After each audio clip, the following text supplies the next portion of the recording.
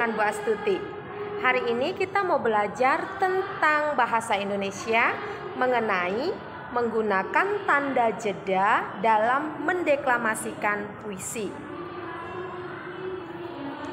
Tujuan pembelajaran kita hari ini, setelah berdiskusi tentang puisi, siswa dapat memahami apa yang dimaksud dengan tanda jeda dengan benar.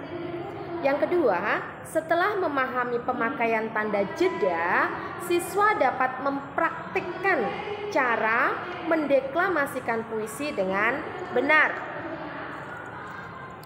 Apa sih yang dimaksud dengan tanda jeda?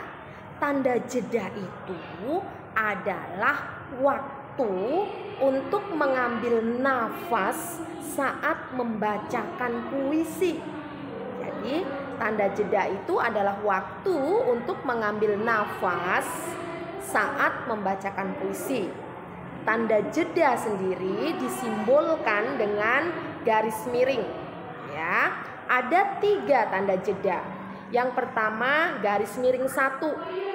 Garis miring satu itu artinya berhenti sesaat, berhenti sebentar untuk mengambil nafas jadi fungsinya itu hampir sama seperti tanda koma pada saat kita membaca suatu teks bacaan.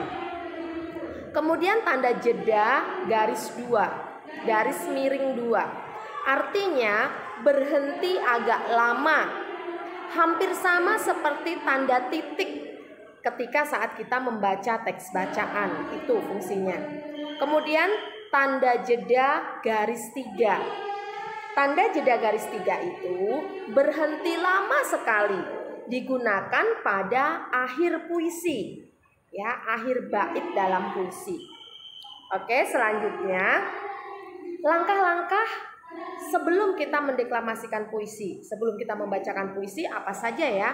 Yang pertama memahami puisi. Bagaimana cara kita memahami puisi? Kita harus membacakannya berulang-ulang ya dalam hati ya. Kemudian kita memberi tanda jeda dalam setiap baris puisi itu.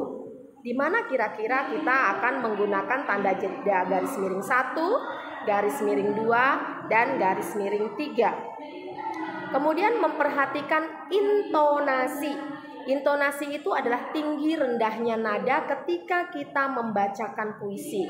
Jadi supaya tidak flat ya, supaya tidak datar-datar saja. Harus ada intonasinya. Temponya juga harus kita perhatikan ya. Tempo itu adalah cepat lambat mengucapkan kata-kata dalam puisi. Ya, kalau kita terlalu cepat membacakannya, tentu saja orang tidak memahami apa isi puisi kita. Yang kedua, iramanya, panjang pendek bunyi perkata dalam puisi tersebut. Ya, dan yang terakhir adalah pelafalan.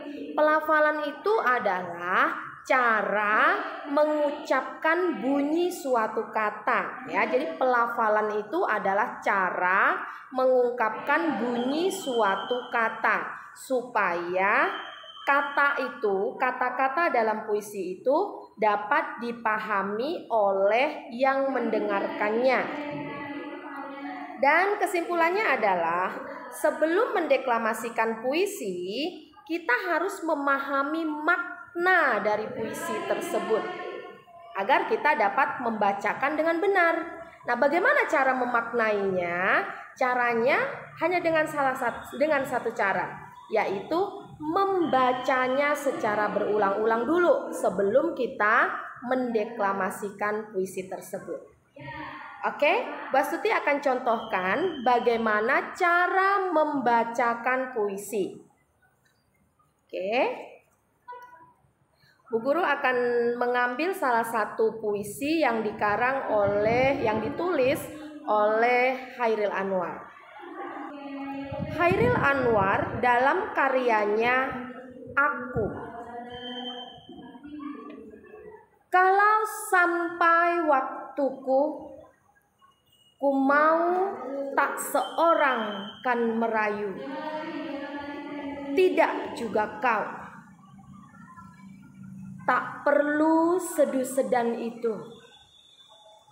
Aku ini binatang jalang dari kumpulannya terbuang. Biar peluru menembus kulitku, aku tetap meradang menerjang. Luka dan bisa ku bawa berlari. Berlari hingga hilang pedih perih. Dan aku akan lebih tidak peduli.